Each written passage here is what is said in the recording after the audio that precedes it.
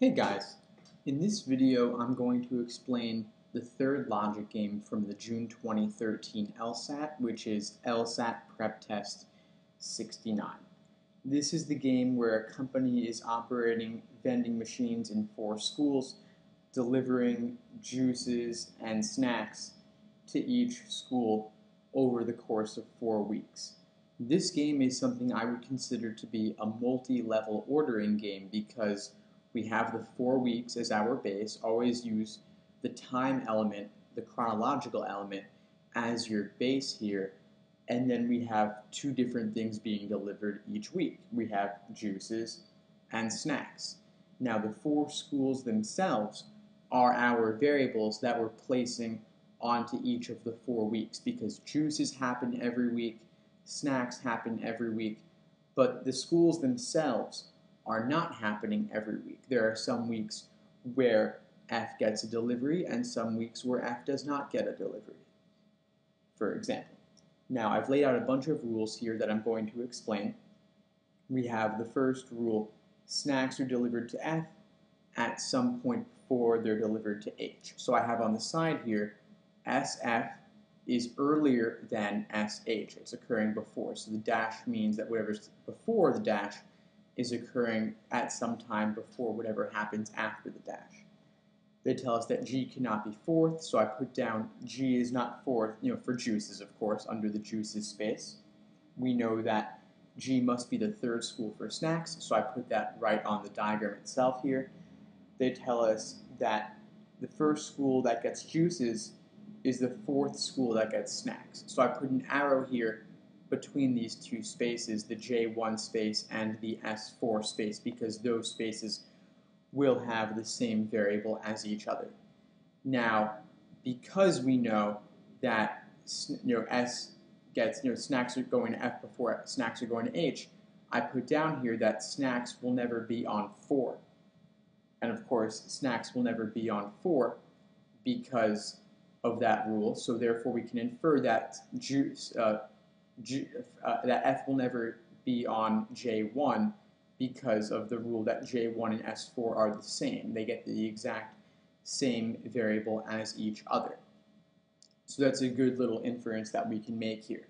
Of course, if you wanted to, you could also say that H is never on 1. That's a perfectly good inference as well, not nearly as useful because it does not connect with that J1 S4 rule, but it's a nice to have sort of thing if you want to put it down. Now, this diagram right here is perfectly sufficient for you to go ahead and answer the questions. You can get all the questions right using this diagram. However, as usual, you know, I like to take things a little bit further here and see what we can do to make some multiple main diagrams based upon the information that we have. We know that, you know, this J1S4 rule combined nicely with the restriction that F cannot be on S4. We got a little you know, domino effect of inferences there. What else can we do with that? Well, we know that S4 is not getting F, and S4 is also not getting G, because G is already on S3.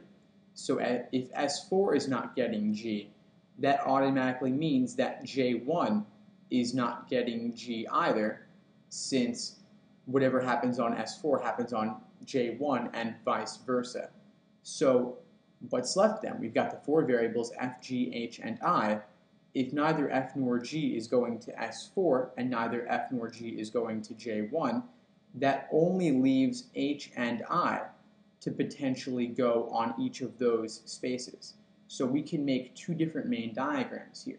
One where we have H on S4 and then H on J1, and another diagram where we have I on S4 and then I on J1. So I'm going to split the game apart into those two different major possibilities, which are the only two possibilities for the game.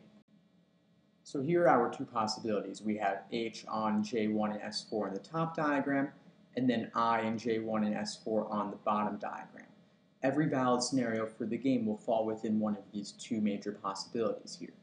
Now, we're not even done. We could fill in even more right now. Since you know the bottom row ha already has two of the four variables filled in, Let's try to fill in the other two.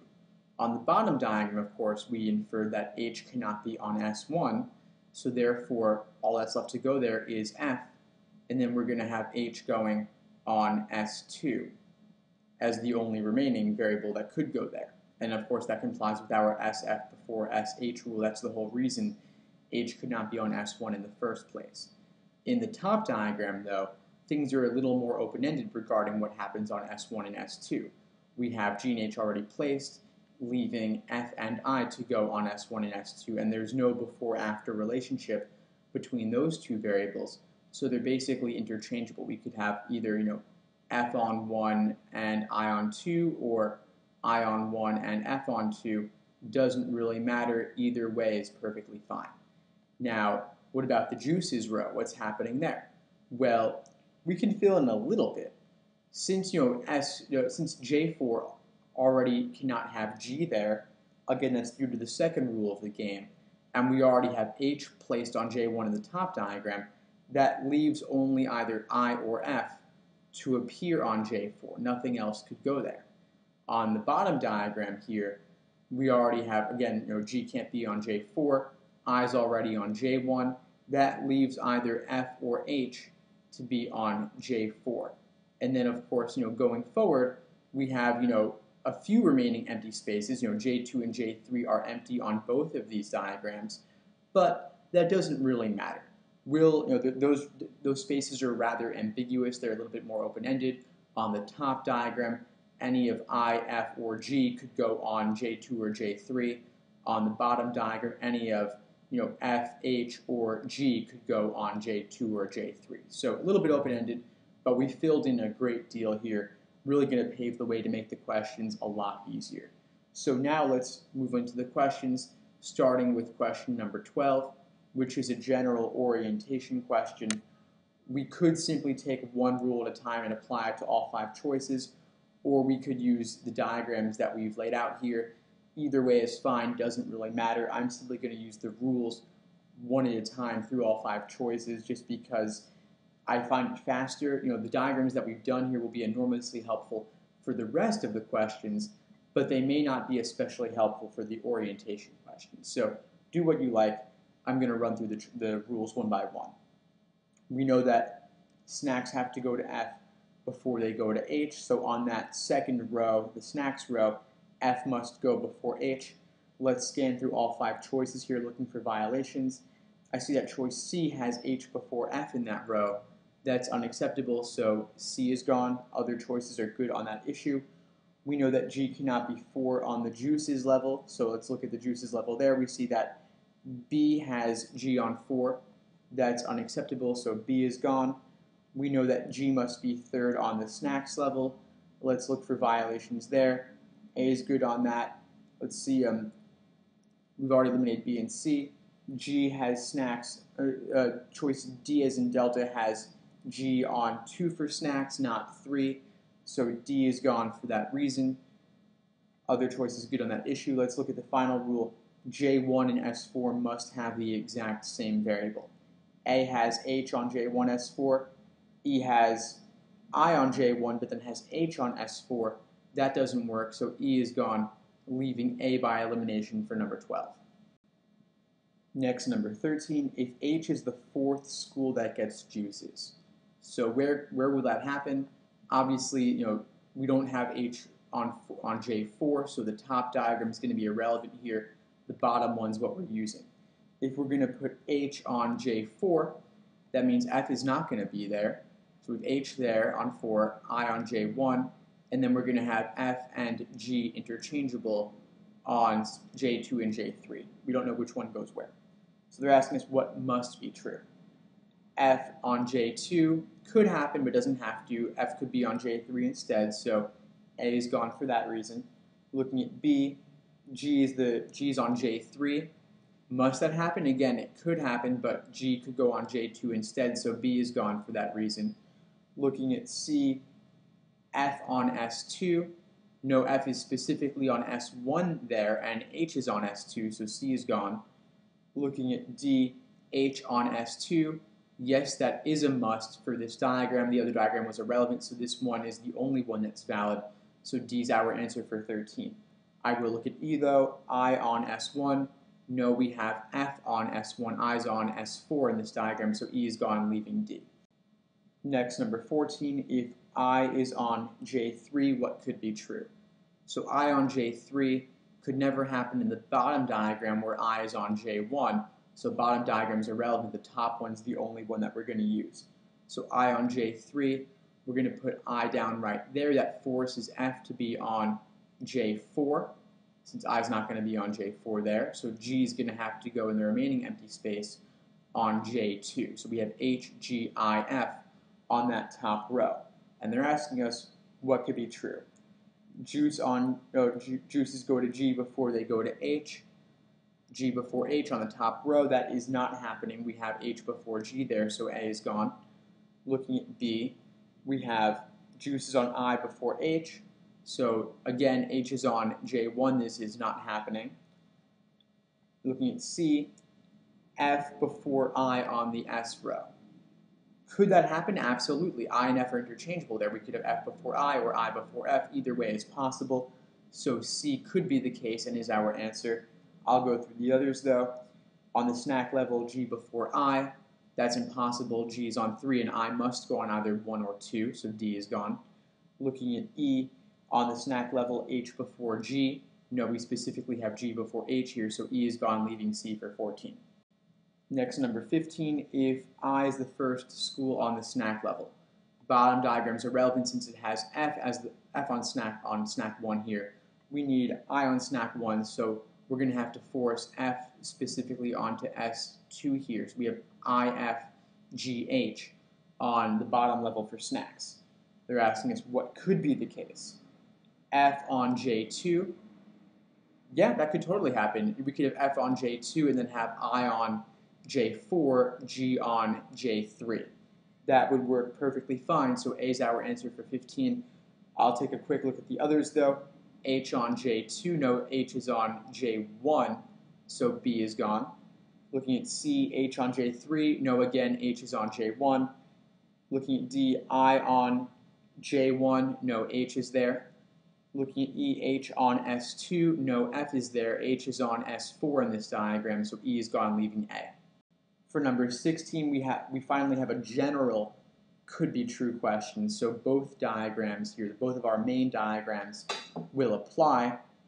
We'll have to look across both of them. For A, both J and S go to G before they go to F. So do we could we ever have both G's occurring before both F's in both rows? No, that is impossible. In both of our diagrams, we see that, you know, of course, G has to go on S3, and F will go on either 1 or 2 in the top diagram for S. In the bottom diagram, F has to go on one speci S1 specifically, so either way, we're always going to have F before G, at least with regard to snacks. So A is out. Looking at B, G both G's before both I's. Well, in the bottom diagram, you know, we have G before I, so that could apply for snacks. But then if you look at juices, we have I on 1. So that's never happening on the bottom diagram. On the top diagram, we have I on either S1 or S2 and then G on S3. So not happening for G and I in either case, neither main diagram, so B is gone. Looking at C, both H's before both I's. Well, we have I before H definitely happening in the top diagram with regard to snacks, so the top diagram would never allow that to happen.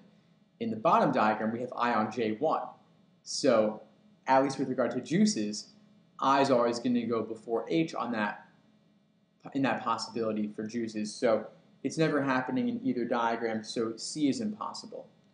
Looking at D, both I's before both F's. Could that happen?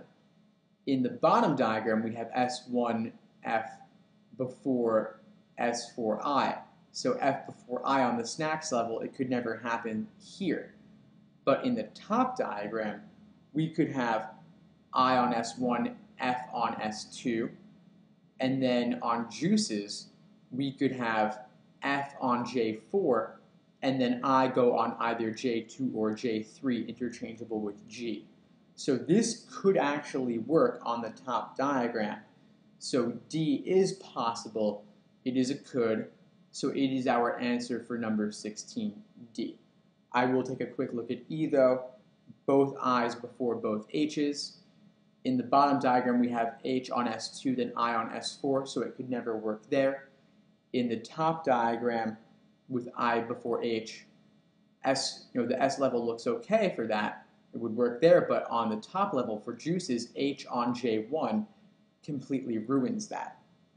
So for that reason, we could never have it work for choice E there. I before, uh, both I's before, both H's would never happen.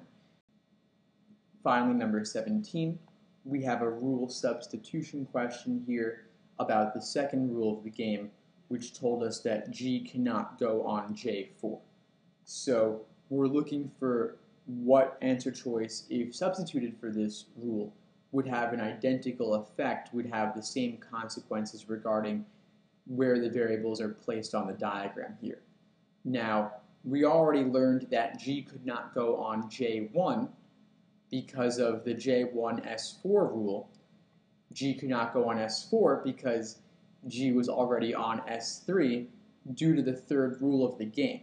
So everything is very related here if you look at the second, third, and fourth rules of the game here regarding how they affect G. So basically, G not being on 4 limited us to having G on either J2 or J3 since we already knew that G could not be on J1.